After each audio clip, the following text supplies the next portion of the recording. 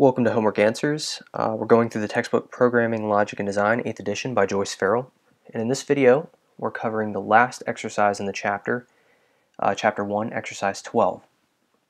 I probably won't do the um, like the maintenance section or the, the bug fixes or that other stuff. You know, you can download these files from Cengage and they have these programs that they've kind of coded up and you just find the bugs, you know, correct mistakes.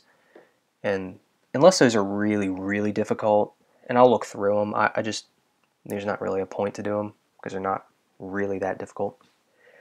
Um, so, uh, yeah, I'll also probably be doing the um, book that accompanies this book, and they have problems in that as well. I think, I believe that your class probably requires you to have this book and the other book. So I'll be doing problems from the other one as well. Uh, but let's get started with this one. Um, you're only asked for the pseudocode or the flowchart. And what this problem is asking is we want to figure out, or we want to we want to write a program to where you put in uh, the amount of hours, and it's going to tell you uh, how many days and hours that is. So let's say you know you type in um, uh, let's see 49 for example you know you would it it would ask you how many hours you have and then you know you would say I have 49 hours and it would basically tell you okay that's two days and one hour. So how is that achieved is what we need to figure out. We need to write a program that does that. So with the pseudocode, we're going to start, and then we're going to have our declarations. We're, we're going to need an, uh, a variable for time, and that's where we're going to put in how many hours we have, you know, because we're, we're basically putting um, clicking a, a timer thing, and we're letting it go, and then we're going to stop it, and then it's going to tell us this is how many hours of time elapsed. And then we're going to have a variable for days, so we can output, you know, how many days that is, and then we also need a variable for hours to, to say also how many hours that didn't quite add up to a day. So that's a remainder, you know. Then we're going to have uh, an area for the user to put in the amount of hours they see on their little stop clock thing.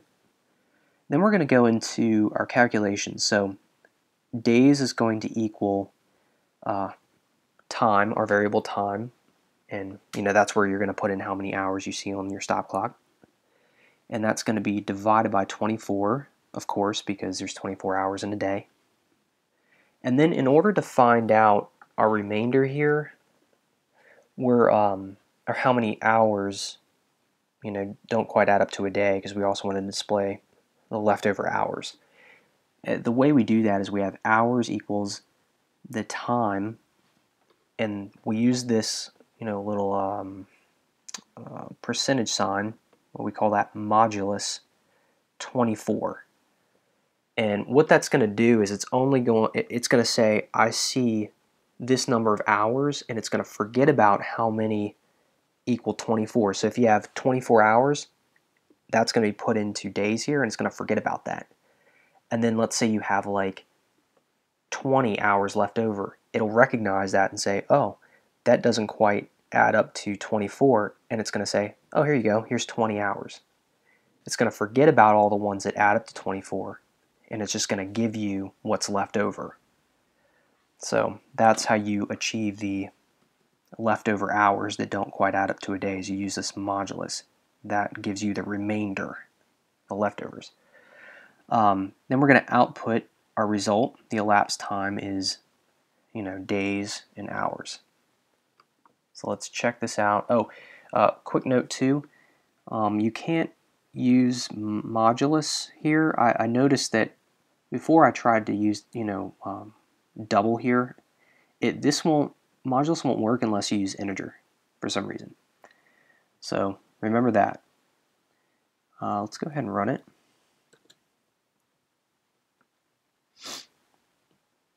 Okay, so uh, let's do 73. So I, I click the the little stop clock thing and let it run for 73 hours and then I pushed the button again and it stopped and it told me 73 hours. So there we go. Now our program is saying that that is equal to three days and one hour. And that's that's right. You know, so it's out outputting this little. I, I love the little modulus thing. Once you can figure that out, it, it's really cool. And there there is a problem in the other book where you have to you have to do something uh, outputting like a pattern, and I won't go into detail, um, but it, it you'll have to use that. I am pretty sure you have to use that, or the best way is to use modulus. Um, so anyway, it's pretty cool. Uh, let's let's try another one real fast.